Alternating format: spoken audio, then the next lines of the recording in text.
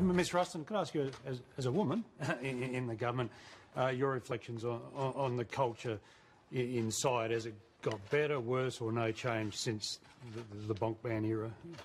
Well, Phil, the only thing that I can. Hmm. How this ban is referred to, I think, is quite dismissive of the seriousness of the issue, Phil.